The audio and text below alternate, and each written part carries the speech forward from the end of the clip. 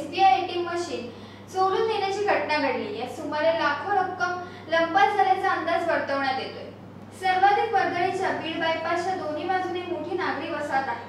बायपासवरील दत्त मंदिरासमोर भारतीय स्टेट बँकेचे अनेक वर्षापासून दोन एटीएम सेंटर आहेत. मात्र येथे सुरक्षा रक्षक नाहीये. शुक्रवारी रात्री चोरट्यांनी रोकड लुटण्यासाठी चक्क मशीनच चोरून नेल्याचे समोर आले.